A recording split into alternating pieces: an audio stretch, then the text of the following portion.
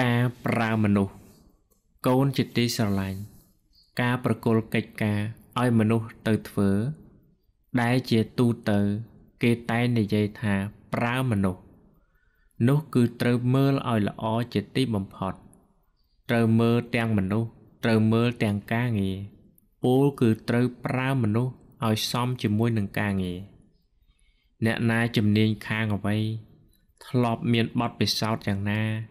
ធ្លាប់ជួបប្រសពហេតុការណ៍យ៉ាងម៉េចរួមទាំងការចេះដឹងនិងការទទួលខុសត្រូវផង កាលបើប្រើមនុស្សបានសមប្រកបនឹងការងារក៏នឹងធ្វើឲ្យការងារដើរទៅមុខមិនមានស្ទះប្រសិនបើប្រើមនុស្សខុសមិនត្រូវគ្នានឹងការងារទេនោះឬប្រើមនុស្សដែលខ្វះនៅគុណសម្បត្តិប្រើព្រោះយល់មុខគ្នា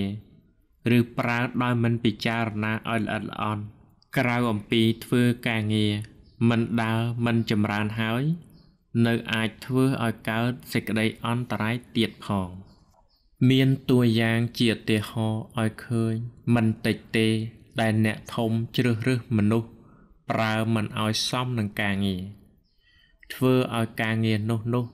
มันមានដំណើរការកន្លែងខ្លះប្រើមនុស្សដែលជាបពពួក ឬប្រើមនុស្សដែលនៅជាមួយ ជាមនុស្សដែលខ្វះនៅគុណសម្បត្តិឲ្យទៅធ្វើនាំឲ្យខូចការងារនោះនោះ មានការងារខ្លះជាការងាររបស់ប្រទេសជាតិទៀតផងដោយពលមកនេះ ការបើកូននឹងប្រើអ្នកណានិងប្រគល់កិច្ចការឲ្យទៅអ្នកណាធ្វើ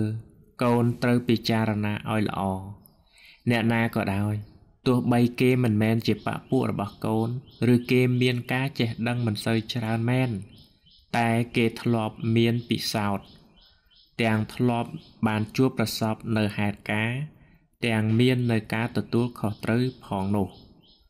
គឺគេអាចធ្វើឲ្យការងាររបស់កូនសម្រេចទៅបានដោយល្អ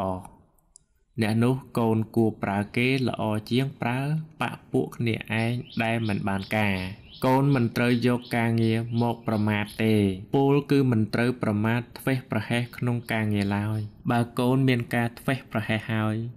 កូននឹងដួលរលំជាមួយនឹងការងារជាពុំខាន មិនបាច់ពោលដល់អ្នកដែលចេះស្ទើរនោះឡើយសំបីអ្នកដែលចេះស្ទាត់ក្នុងការងារហើយក៏ដោយក៏ត្រូវដួលរលំដែរ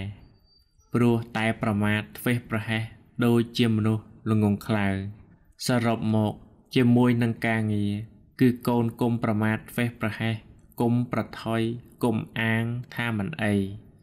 ត្រូវតែម៉ត់ចត់និងប្រយ័ត្នប្រយែងជាទីបំផុត មនុស្សថ្លៃជាងប្រាក់សុចរិតថ្លៃជាងពេជ្រគុំបំភ្លេចចោលខ្លួនប្រានមនុស្សថ្លៃពុនប្រមាណគុំចោលប្រានដោយយកប្រាក់ចោលប្រានស្មើលក់ខ្លួនឪពូលផ្ទួនឲ្យប្រចាស់ មនុស្សយើងថ្លៃជាងប្រាក់